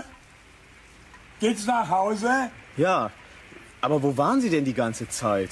Ich habe Sie ja seit Wochen nicht mehr gesehen. Naja, nur wie denn? Wo ich doch im Krankenhaus gelegen habe. Eine Prostata. Alle zehn Minuten pinkeln, das war ja nicht mehr zu machen. Naja, so wie ich lebe. Aber die haben mich ganz schön geschafft da drin. Mindestens zweimal am Tag gewaschen, was? Nee, nee, nee, nee, zu viel Wasser war es nicht. Zu wenig Luft. Zu sechs waren wir in einem Zimmer. Ja, da, da tagsüber, da ging das ja noch, aber nachts, ich hab geschwitzt wie ein Schwein. Bin die Wärme doch gar nicht gewöhnt. Und dann haben die mich noch auf die Nachsorgestation geschickt. Sie gehen uns nicht gleich wieder auf die Straße, haben sie gesagt. Das haben die so gesagt, wie zu einer Nutte. Na, ich freue mich, dass Sie zurück sind, Mr. Crucifer. So heißen Sie doch, oder? Ja, ja, aber woher wissen Und Sie hier denn- ist noch ein bisschen was zu feiern. Danke, Chef, danke. Sie sind ja immer schon ein Gentleman gewesen. Na, das sieht schon besser aus. Zumindest fängt sich da keine Seife und was noch alles in den Ritzen. Gut. Wenn es also dieser Stein sein soll, bringe ich ihn nach oben und er wird noch vor dem Ende der Woche eingepasst. Immer das Gleiche mit diesen Leuten, Purby. Anfang der Woche ist nie vor Mittwoch, aber vor dem Ende der Woche läuft auf Freitag spät Nachmittag hinaus. Die Marmorplatte wurde mir schwer unterm Arm. Ich war ziemlich durcheinander. Als ich vor Mrs. Ripples Haus gehalten hatte, war Mrs. Arnhem gerade von dort herausgekommen. In der Nähe erschien sie mir älter als beim letzten Mal, älter und schmaler. Und sie hatte einen kleinen schwarzen Hund bei sich. Oben vom Badezimmer aus stellte ich fest, dass ihr Garten vernachlässigt war. Nicht nur, weil Flora einen leeren Platz hinterlassen hatte, der Rasen war ungemäht und voller Unkraut. Plötzlich erfasste mich Panik. Egal wie sie ausfallen mochte, ich musste die Wahrheit herausfinden. Als ich die Treppe herunterkam, stand die Tür zum Wohnzimmer offen, und ich hörte ungewollt die Stimmen der beiden Frauen. Und danach kannte ich die Wahrheit. Du weißt, wer das vorhin war? Wer? Die Person mit dem Hund, die kam und fragte, ob ich jemand wüsste, der ihr im Garten hilft. Ah ja, aber ich habe nicht auf den Namen geachtet. Mrs. Meyerson, deren Mann ermordet wurde. Wann war das? Vor vier Wochen sowas. Ermordet? Ja, Harold Meyerson, erdolcht. An einem herrlichen Sonntagmorgen. Bei einem Spaziergang mit seinem Hund. Im Wald. Ganz in der Nähe. Aber ich habe dir gesagt, dass ich ihn getötet habe. Ich habe ihn mit dem Glasdolch erstochen. Ich hab's dir gesagt. Mein Gott. Okay, offenbar habe ich den falschen Mann umgebracht. Aber du hast mir gesagt, dass Jared Arnhem dort wohnt. Du hast mir sein Haus gezeigt. Dein Fehler, nicht meiner. Es ist letztlich auch egal. Es zählt ja nicht, wen ich umgebracht habe. Es ist darum gegangen, dir meine Liebe zu beweisen. Du hast dich ja auch geirrt. Es war gar nicht der alte Penner von unten, den du getötet hast, sondern ein ganz anderer. das passiert uns aber nicht nochmal. Das nächste Mal passen wir besser auf. Hör auf! Auf der Stelle! Halt einen dreckigen Mund, sei still!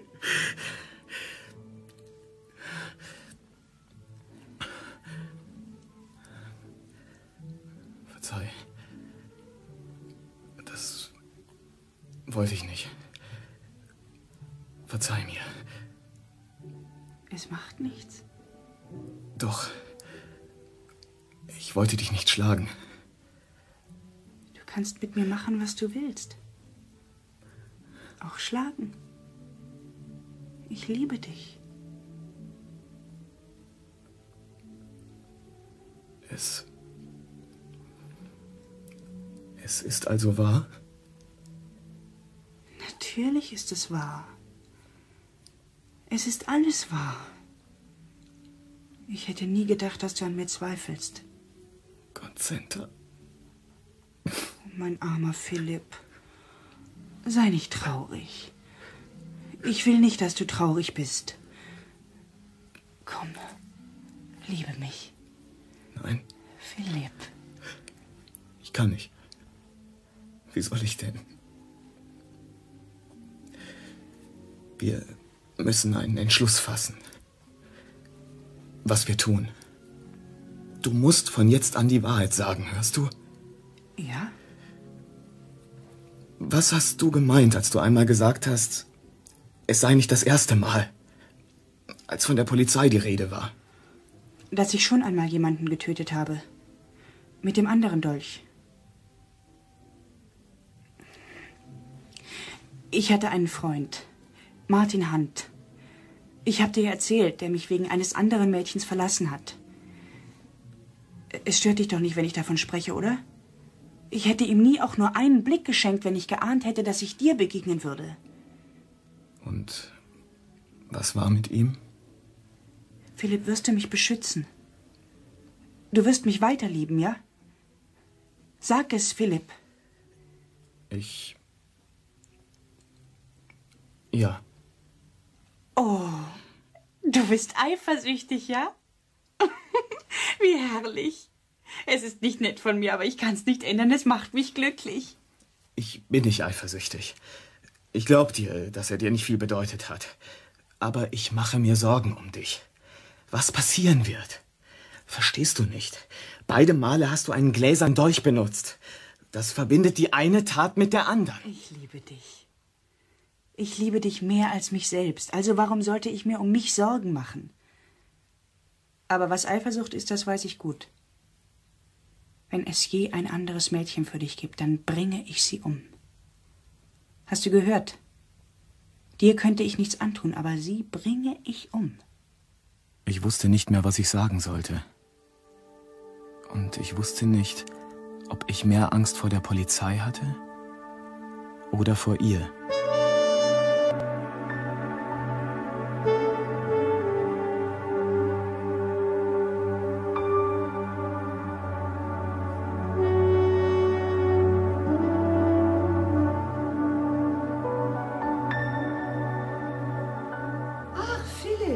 Ich war nicht sicher, ob du nach Hause kommen würdest, aber ich habe dir was in den Kühlschrank gestellt. Hast du es gefunden? Danke, ja, aber ich war nicht hungrig. hallo. Du erinnerst dich doch noch an Jared? Natürlich. Wir sind uns ja vor kurzem erst über den Weg gelaufen. Wir kommen gerade von einem Picknick in Epping Forest zurück. Jared hat mich gestern angerufen und sich einen Tag freigenommen. Fast wie auf dem richtigen Land dort. Wie geht's, Philipp? Sie sehen nicht sehr glücklich aus. Wo wohnen Sie inzwischen? Na, immer noch in Buckhurst Hill, aber auf der anderen Seite der High Street, in einem kleineren Haus.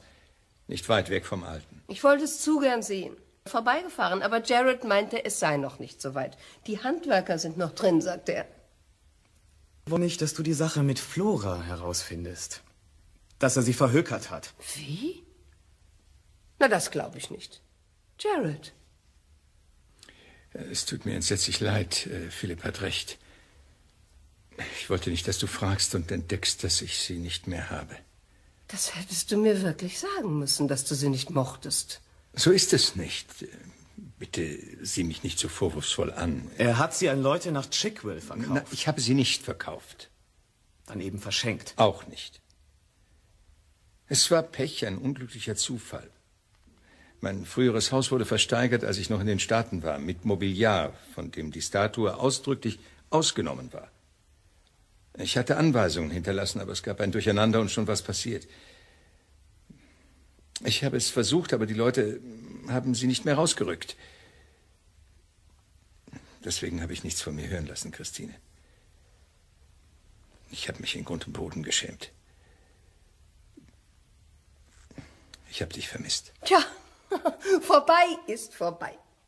Aber das hat ja nun hoffentlich die Luft gereinigt. Ich mache uns allen einen Tee. Flora. Mit ihr hatte alles angefangen. Was sollte sie noch länger in meinem Schrank, fragte ich mich. Und nachdem Jared gegangen war, nahm ich sie und stellte sie auf ihren alten Platz in unserem Garten.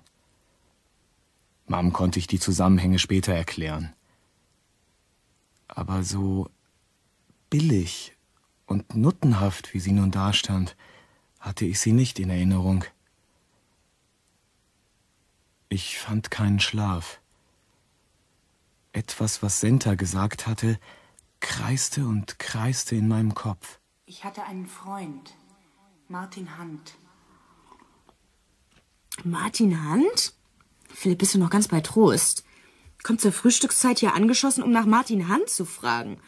Du musst doch wissen, wer er ist. Was ist denn mit deinem Gedächtnis los? Ist er tot? Tot?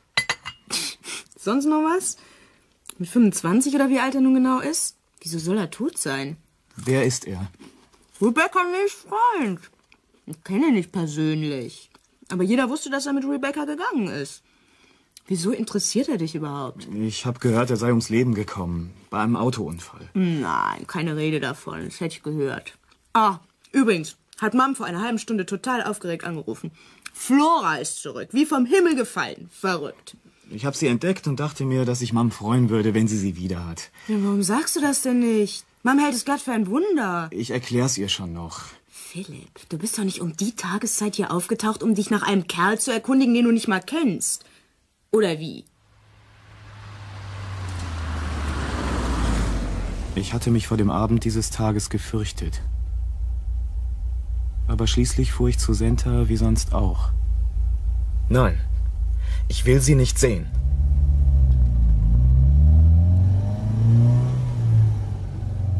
Ich musste ihr beibringen, dass es aus war mit uns. Sie hatte zwei Morde begangen. Sie würde es wieder tun. Ich war sicher. Auch ohne sie je wiederzusehen, würde ich bis ans Ende meines Lebens davon gezeichnet sein. Meine Liebe zu ihr war zerstört. Das musste ich ihr sagen. Und wie stand es mit ihrer Liebe zu mir? Hallo? Was hast du gemacht, Philipp? Ich habe deinen Wagen vor dem Haus gesehen. Warum bist du wieder weggefahren? Ich konnte nicht. Warum? Das kannst du dir doch denken. Es ist aus. Und es ist besser, wenn wir uns nie wiedersehen. Wir müssen versuchen, dass wir beide wieder in unser früheres Leben zurückfinden. Ich habe kein Leben ohne dich. Wir kennen uns seit drei Monaten. Das ist nichts. Wir werden einander vergessen. Ich liebe dich, Philipp. Und du hast gesagt, du liebst mich. Ich muss dich sehen. Bitte komm. Das führt zu nichts, Senta. Leb wohl.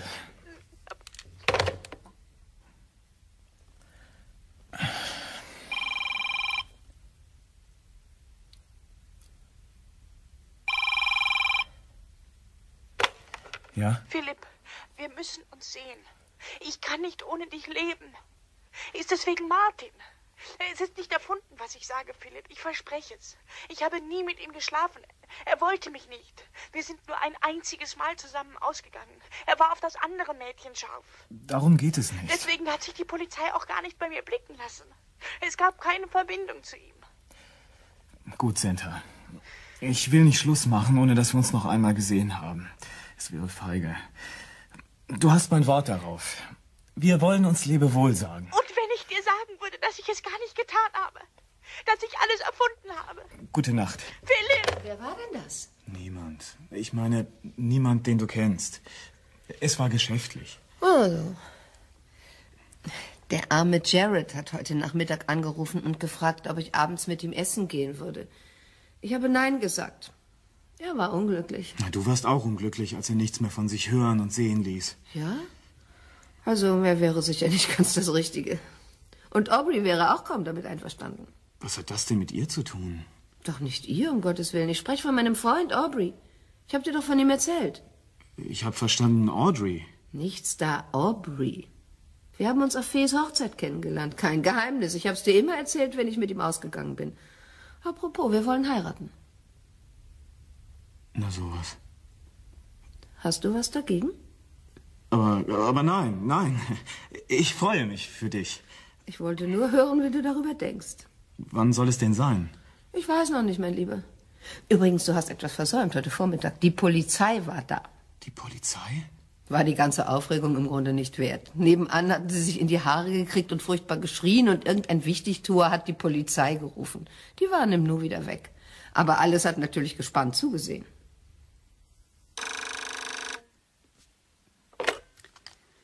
Tom Lawn Partner, Studio für Innenarchitektur? Ja, Gates hier. Ich möchte Mr. Waldman sprechen.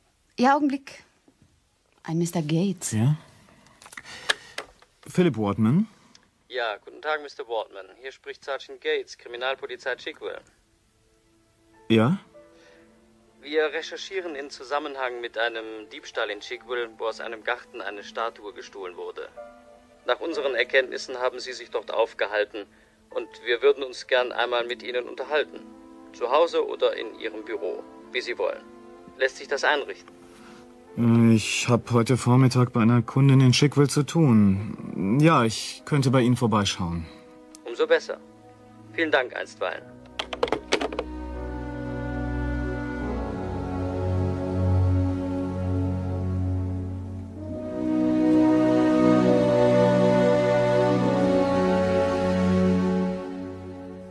Das ist Inspektor Morris. Mr. Wardman. Um es kurz zu machen, unsere Fragen an Sie gehen auf einen recht kuriosen Zufall zurück. Ach ja? Wir sind wegen eines an sich nebensächlichen Zwischenfalls in Ihre Nachbarschaft gerufen worden. Im Verlauf der Sache entdeckte eine Kollegin eine gewisse Statue in Ihrem Garten. Ach. In der sie die als vermisst gemeldete aus Mrs. Myersons Garten zu erkennen glaubte. Zu Recht, wie sich im Weiteren herausstellte. Die genaue Beschreibung ist im Computer der Metropolitan Police enthalten. Ist sie demnach wertvoll? Mrs. Myersons verstorbener Mann hat auf einer Auktion 28 Pfund dafür bezahlt. Ich weiß nicht, ob Sie das wertvoll nennen wollen. Also, ich habe die Statue aus dem Garten entfernt. Gestohlen, wenn Sie so wollen. Wozu ich mich unter allerdings irrtümlichen Voraussetzungen berechtigt glaubte. Wollen Sie mich dafür belangen? Ist das Ihre Hauptsorge, Mr. Wardman? Ich verstehe nicht. Brauchen Sie ein Geständnis? Das wäre hilfreich, ja. Also, Tatsache ist, dass die Statue ursprünglich uns gehört hat. Augenblick, Sir. Ich muss mitschreiben. Ich möchte noch einmal sagen, dass ich mich im Recht glaubte, als ich sie mitnahm. Ich konnte ja nicht wissen, dass sie inzwischen verkauft worden war. Selbstverständlich bin ich bereit, Mrs. Meyerson zu entschädigen. Ich bezweifle, dass die Dame nach den jüngsten Ereignissen ausgerechnet um die Statue besorgt ist. Ist das dann alles? Für den Augenblick ja. Haben Sie vor, Anzeige zu erstatten? Ich denke nein, Sir. Das würde mir doch sehr nach Verschwendung von Zeit und Steuergeldern aussehen. Mrs. Ripple können wir abhaken. Die ist zu guter Letzt überglücklich. Irgendwelche Anrufe? Äh, ja, ein Mr. Morris. Wie? Hat er eine Nummer hinterlassen? Er wollte wieder anrufen. Ich habe gesagt, Sie müssten jeden Augenblick zurück sein. Mhm. Tom Lawn Partner, Studio für Innenarchitektur? Ja, nochmal Morris. Ah ja, er ist jetzt da. Danke. Ja, hallo? Ich bin es nochmal, Inspektor Morris. Sagen Sie, haben Sie eine Freundin, Mr. Boardman? Wieso? Ein Mädchen mit langem blonden Haar? Naja, eher silberblond. Und klein. Knapp 1,60. Ich habe keine Freundin.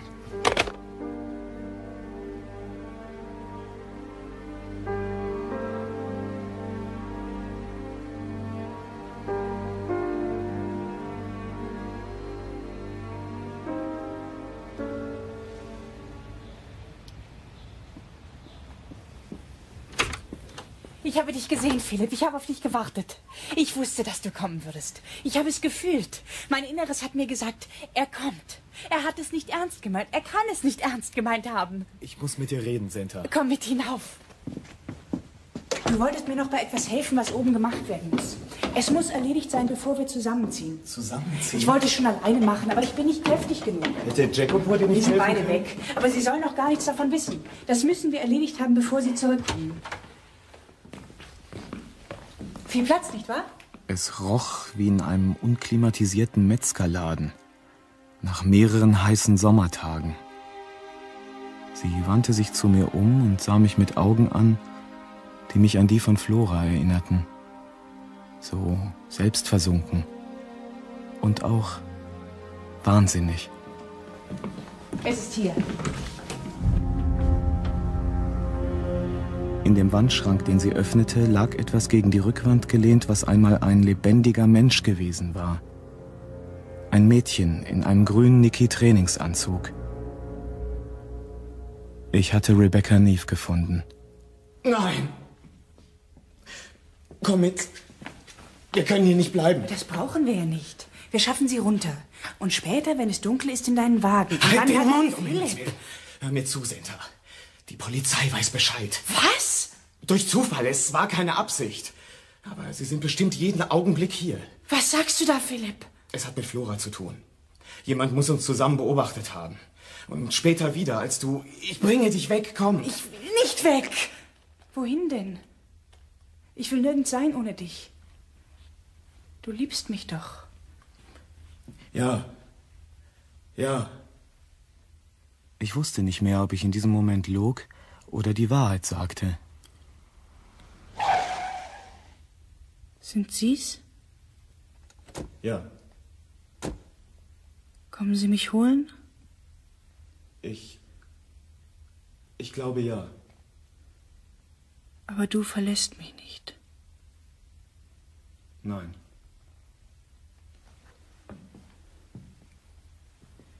Ich verlasse dich nicht.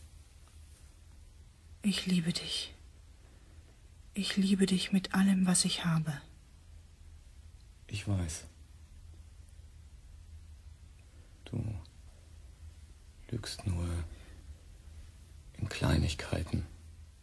Sie schmiegte sich an mich, und ich hielt sie fest.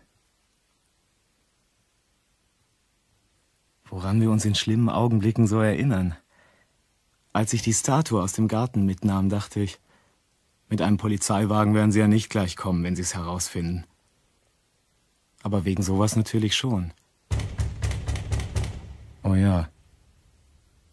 Wegen sowas schon.